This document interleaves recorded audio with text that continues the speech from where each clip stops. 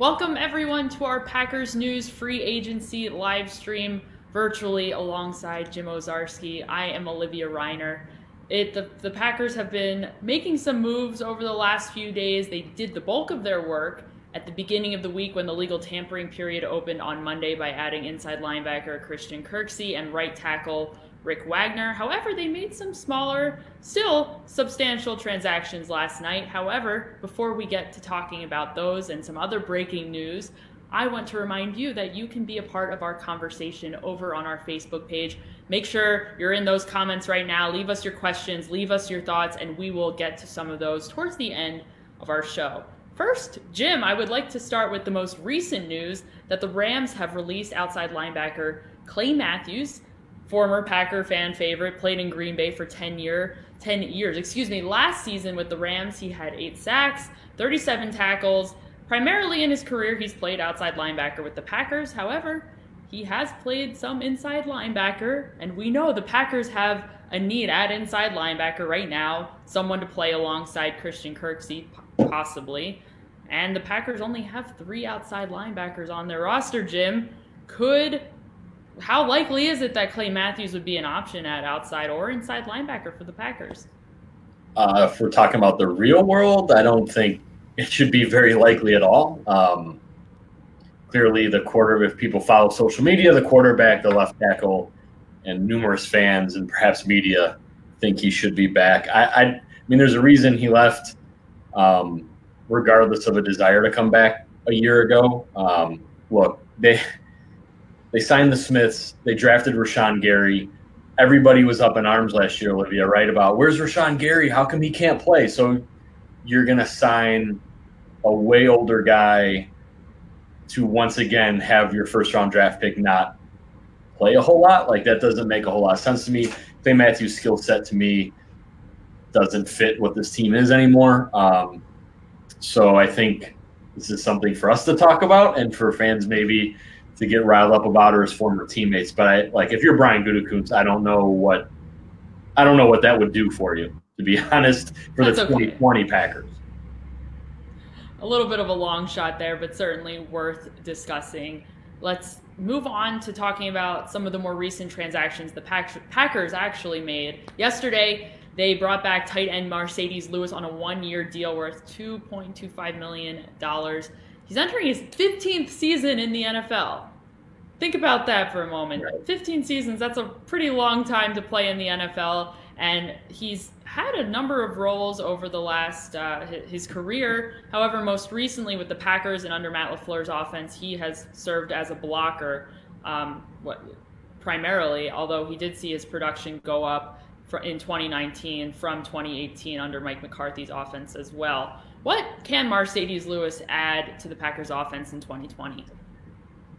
uh, uh, leadership um, and a guy who knows what he's doing. I, I, mean, yeah, he did catch a few more passes. Um, obviously, the quarterback loves him, um, and he's a great locker room leader, mentor. Honestly, that's has been his role the last two years, um, and that's going to continue. I mean, he's not going to catch more than the 15 passes or, or, whatever he did this past year. If he does, honestly, Olivia, then the Packers are in trouble.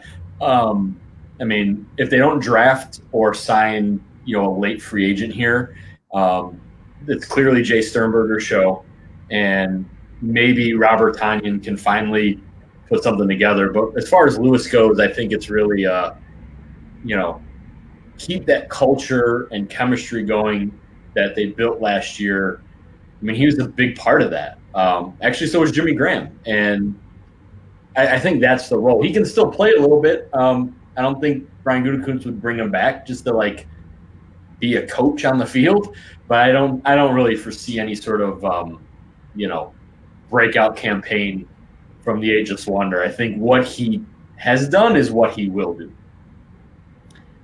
Packers also brought back safety Will Redmond on a one year deal. Reportedly, we don't know exactly how much money he's going to be making. However, we can speculate that it, may be a minimum salary deal. Last season, he played 271 defensive snaps, 36 tackles. What role can Redmond play this upcoming season?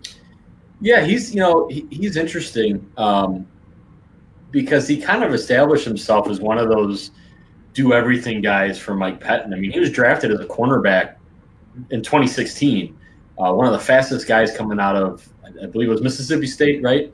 Um, you know, knee injury, and and I think Mike Pettine found okay, he can bulk up a little bit. He's got the ability to play downhill, unafraid to take on bigger guys, hence the safety change.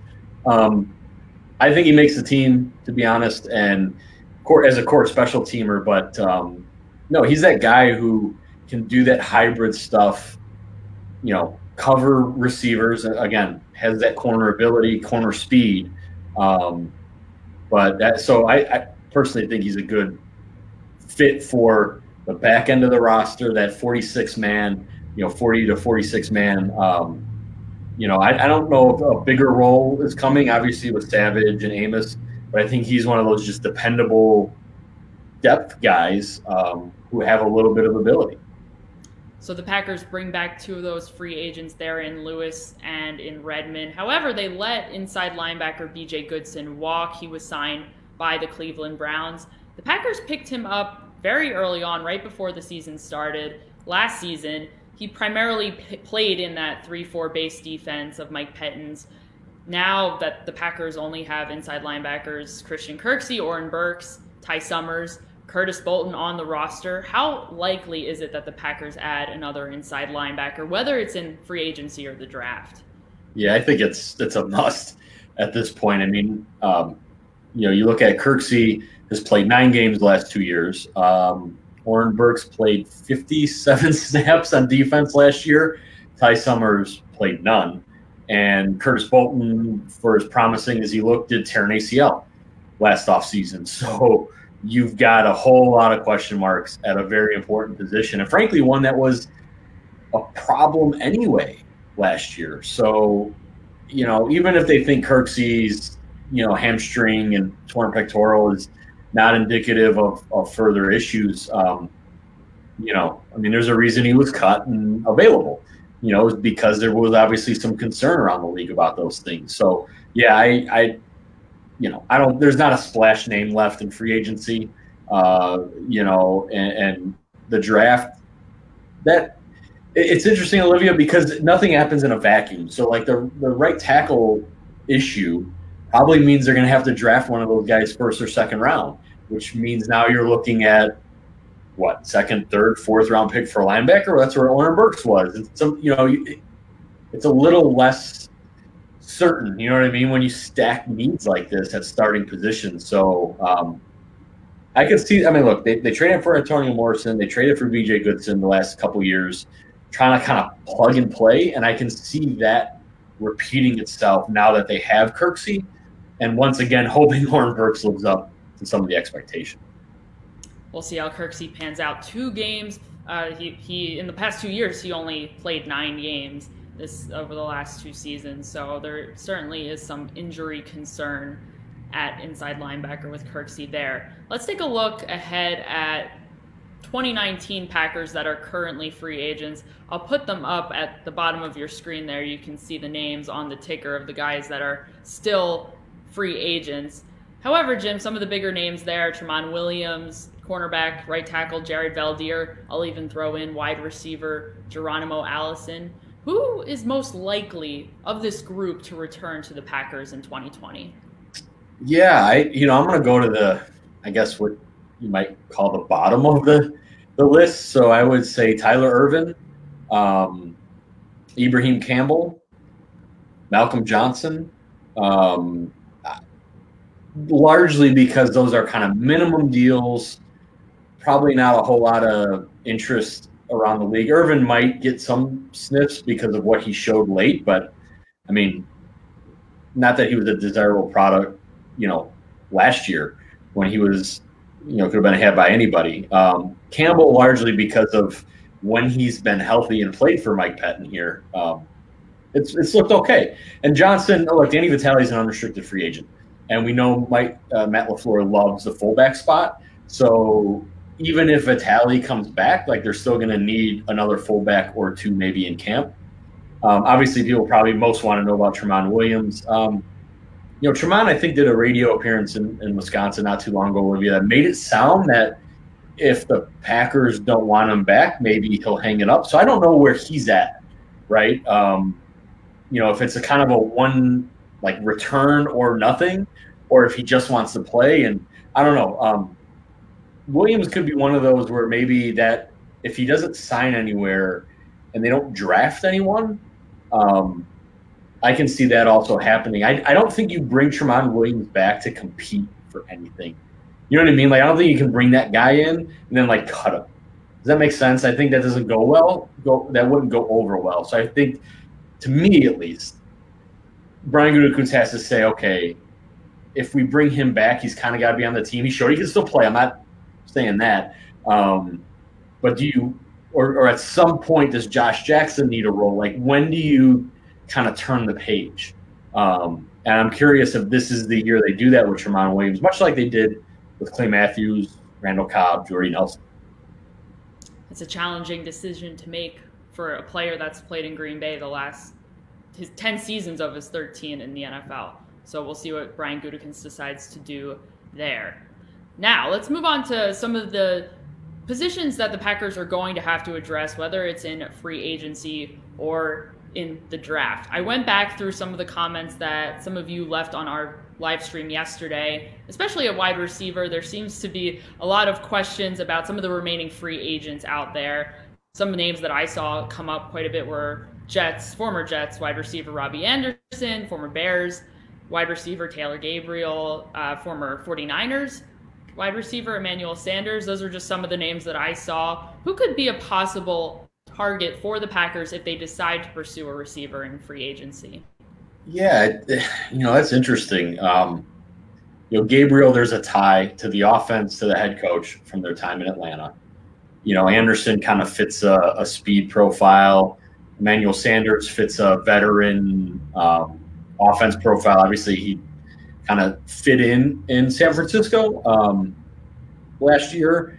He's an older guy that that I don't know if Brian Gutekunst is going to go out and just sign guys in their mid 30s. I mean, I, am going to go with what the GM has said on that one, Olivia. He said their new approach to free agency is, you know, younger players who they feel are ascending.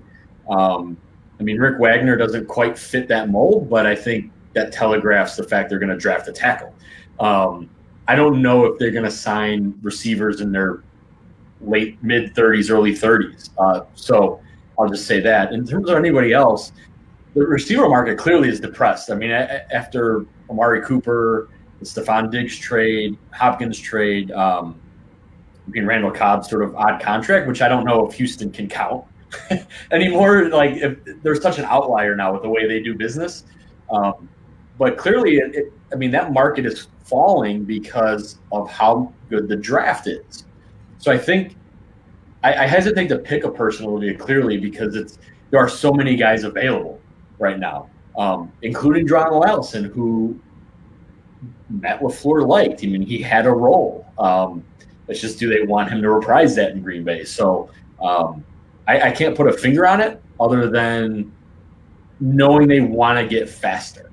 And now it's a matter of are you spending the money which means that guy's got to play and he's got to start?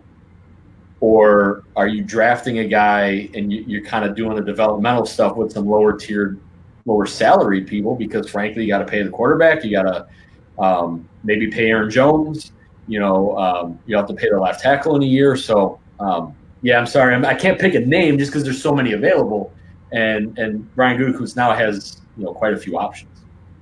Gutekunst has been very clear that he thinks this is going to be a very deep receivers draft. So expect the Packers to be looking for a receiver, not necessarily in, in one of the opening rounds of the draft, but perhaps later on.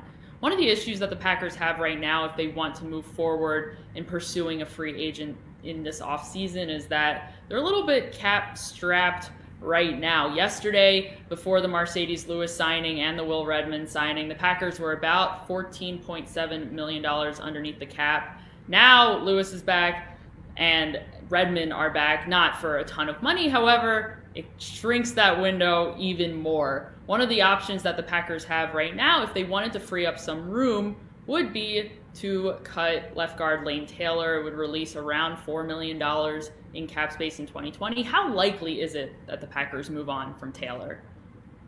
Yeah, this is the um, $4 million question, right? To me, if they were, if they felt they needed $4 million to sign an unrestricted free agent, they would have cut him with Jimmy Graham. Um, so obviously, in their view, either a they knew they didn't need that four million, um, so why just cut a good player? I mean, say what you want out of the competition with Elgton Jenkins last year. He did come out of week one as a starter, um, and he started for a long time. So there, there's that part of it. Um, why not see what he has left um, and try to do the Mike Daniels situation last year, Olivia, where you know Mike Daniels ended the previous year injured. So they tried to trade him. And then finally, when they got to camp, they realized, okay, we got to let him go. Um, so I can see that scenario happening. And then also, quite frankly, um, he may not be physically recovered yet. And if he can't pass a physical, they'd have to work out an injury settlement, uh, which may or may not, you know, defeat the purpose of trying to cut him to save money because you'd have to pay something out anyway. So um, I I think if they needed that money now, it would have happened already. Um, not to say it won't down the line, but I, I think this is more of a down the line cap thing than a right now cap thing. All right, we'll see what ends up happening there if they ended up deciding to let anyone else go. For now, this is what we're riding with. So let's move over to some of our questions over on the Facebook page. If you have any more, feel free to send them in. I'll take a look. We'll start with Rebecca. Rebecca asks, would a healthy Raven Greene be able to help stop the run as a pseudo linebacker? We know that Mike Pettine likes to use use linebackers inside alongside Blake Martinez this past season. And primarily we saw Ibraheim Campbell in that role after Raven Greene got injured. What is the status of Raven Greene in this Packers defense, seeing as we didn't get to see a whole lot of him last season? Yeah, clearly, you know, he had worked his way into a pretty substantial role. I mean, he really bulked up last offseason. Um, and he was on the field quite a bit. I, I want to say that those first two weeks, you know, before he got hurt against Minnesota, and clearly the team really liked what he could have maybe done in the Super Bowl. The fact that they saved that sort of roster spot for him and brought him back you know, at the very end of the playoffs. Um, you know, again, though, it's hard. So, but it's hard to project. Like their actions show that they like him, and they obviously think he has potential. We just haven't seen it yet. Um, so, and then plus, uh, what status matters, and if they draft a safety, a similar type of guy.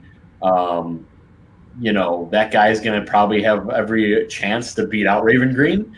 Um, but as of now, though, I think you know he'll get a shot to be that kind of hybrid linebacker type that Mike Pettine likes, um, and we'll, we'll just have to see. Thank you, Rebecca, for your question. I appreciate it. I'm going to pull up the next one here. We'll go with this. We discussed this a little bit earlier, Jim. Tristan asks, why do you think Brian Gutekunst hasn't made a move at wide receiver or tight end yet? Is there something he could be waiting for? We discussed wide receiver a little bit, but we haven't touched so much on tight end. As we mentioned earlier in the show, Marcedes Lewis is coming back on a one-year deal. He joins tight end Jace Sternberger, Robert Tonyan, and Evan Baylis as well. Four tight ends on the roster how likely is it that Brian Gutekunst adds another tight end, whether it's in free agency or the draft? Yeah, you know, it's funny. Well, we'll start with free agency. You know, the tight end market was pretty bare, especially after Los Angeles franchise tag Hunter Henry. I'm sure Austin Hooper's been discussed that the Packers were never going to reset the market again at tight end. They did that a couple years ago with Jimmy Graham. It didn't work not quite apples to apples there uh, based on age, but you know, um, there had to be a little saltiness about kind of doing that and not getting your return. Um, there just wasn't, you know, Eric Ebron's out there. I mean, the longer these guys go without signing, the cheaper they get. Um, you know, especially now with everything being postponed, um, there's really no reason to sign anyone when you don't have to. So um, they may yet sign a different type of veteran tight end who has a pass catching, um, you know, pedigree like a Tyler Eifert or something like that. You know, to a, kind of a lower price deal um, to complement Marcedes Lewis, compete for a spot maybe. Um, but I can see the draft. You know, yet again, um, kind of replenishing it. Look, Robert Tonyan. You know, how how long are they going to wait? You know, um, it's been a few years now, and he has shown some potential, but what has he really done? And you know, you get a fourth, fifth round pick type of thing. It's probably not the worst thing in the world in this offense. George Kittle, fifth round pick. I think um, you know Jordan Reed, Zach Ertz, those guys were not first rounders. So, you know, not that that's the new running back, but they can be had middle of the round. So I think that's might where that's maybe where tight end you can maybe find a guy to, to add to the room um, that can contribute right away that you, you maybe don't have to spend a whole lot of money on. The Packers would have liked to have seen a little bit more of Robert Tonyan and Jace Sternberger last season. However, they both battled injuries and kept them off the field more than the Packers would have wanted to. So we'll see this season if they're able to stay healthy and stay productive on the field. Let's move on to another question. I had something and then it went away. Oh, here we go. It's Brian here. Jim, you can answer this uh, if you want. For as Brian asks here, is it possible the Packers get Todd Gurley or pick up Clay Matthews? We addressed the Clay Matthews situation earlier in our show. Short answer is no. I think Todd Gurley, former Rams running back, is an interesting conversation just to have from the perspective of the fact that if the Packers want to re sign Aaron Jones once his contract expires, how much money are they going to give him? Because with Gurley, we saw he gets released in a season when he's due $10.5 million. Gurley, face of the franchise, valuable piece of that offense. However, they weren't willing to pay that this season. With Aaron Jones, what are the Packers going to ultimately agree to pay him if they decide to keep him? Yeah, that's um, his situation is probably the most interesting of, of all um, coming up because he obviously wants to cash in. Um, recent history, Todd Gurley included, shows that teams who pay running backs tend to regret it immediately. uh, so, yeah, and, and, Gurley's not a fit to me in, in Green Bay. I mean, I, I mean, you're talking about a guy who still probably believes he's a number one back. This isn't really a money thing. He's not going to be cheap. I know fans like to just automatically assume a guy who gets cut is going to be cheap and available. Um, I don't think that's a guy who's going to come in and be happy with playing 13 snaps or whatever. I mean, Jamaal Williams is still here. You know what I mean? Like it, it it's just not a roster fit. It's not a financial fit. Um, with Todd Gurley. Clay Matthews we addressed at the top of the show. I don't I don't think that's a fit either. Uh, for a variety of reasons. I didn't mention this earlier, Olivia, though. Everyone seems to assume like Clay Matthews is going to want to play inside linebacker. Why would he? I don't understand why he would do that.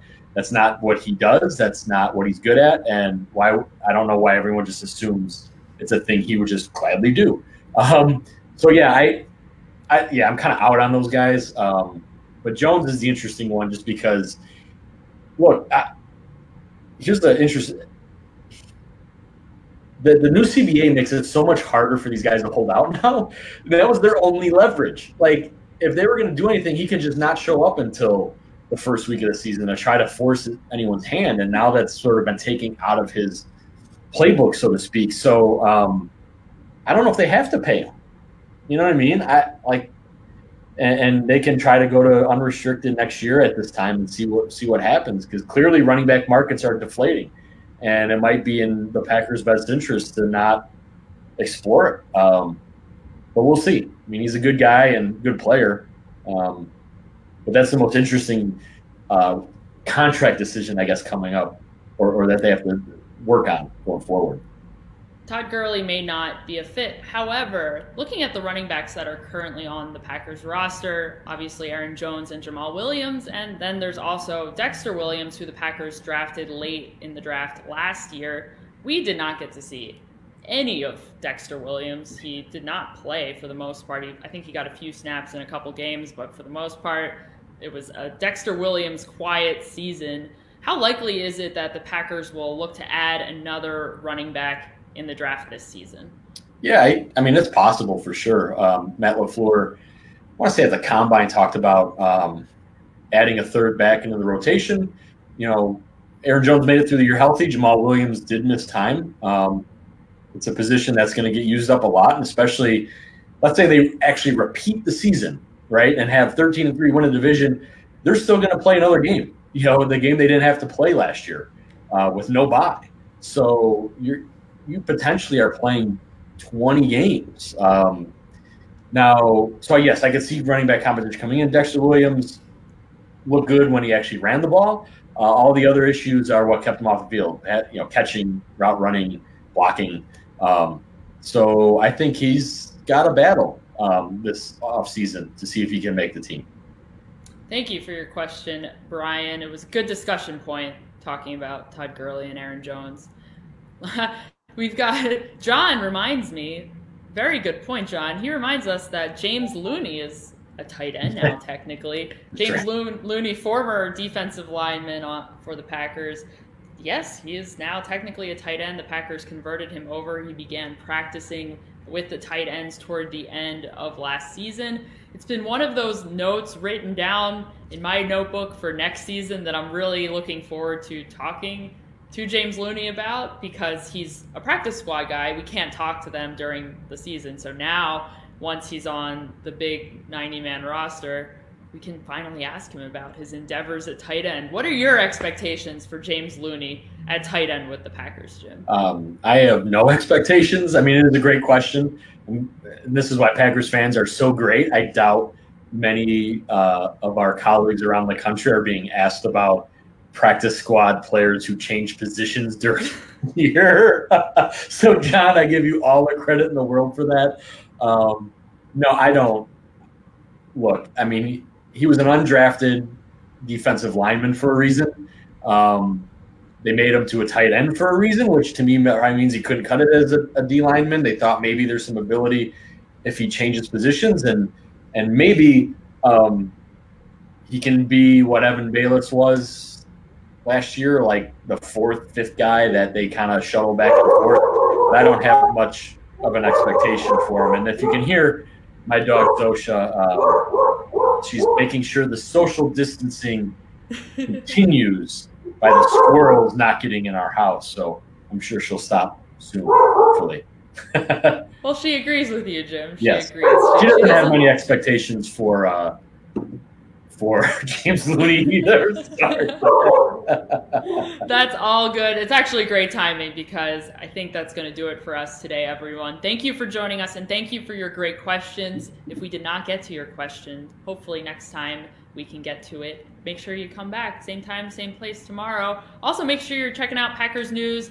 All of our great content regarding free agency is up on there, so you can check it out. Jim has been doing a fantastic job with the free agent tracker, Jim. Thank you for all of your contributions there, making sure we're all squared away and keeping track of what's exactly going on in free agency. So, everyone, have a great rest of your night, and we'll see you next time. See you.